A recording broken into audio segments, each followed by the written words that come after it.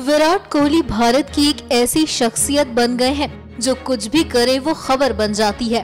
Cricket के मैदान से लेकर ग्लैमर की दुनिया तक हर जगह विराट छाए हुए हैं। विराट की लोकप्रियता का अंदाज़ा इस बात से भी लगाया जा सकता है कि आजकल तो विराट स्कूली बच्चों के सिलेबस में भी आ चुके हैं। महाराष्ट्र के एक स्कूल की सालाना परीक्षा के दौरान प्रश्न पत्र में एक सवाल देखकर नौवीं कक्षा के सैकड़ों छात्रों का सर चकरा गया।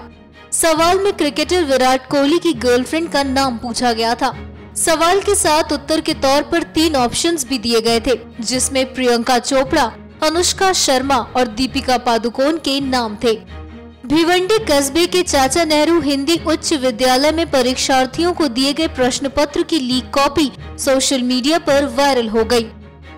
स्कूल में 13 अक्टूबर को सालाना परीक्षा ली गई और ये ऑप्शनल सवालों के खंड में सवाल नंबर एक बी का था।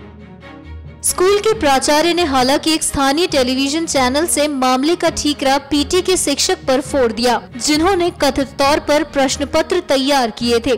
प्राचार्य ने इस बात को स्वीकार किया कि बड़ी गलती हुई है, लेकिन इसके लिए किसी पर कार्रवाई की कोई बात नहीं कही। अब अभिभावक भी इस बात को लेकर चिंतित हैं कि चूँकि ये सवाल सिलेबस से बाहर का है, और अगर छात्र ने सवाल का जवाब दिया होगा और वो गलत होगा तो उसके अंक का क्या होगा? एनएमएफ न्यूज़ की रिपोर्ट।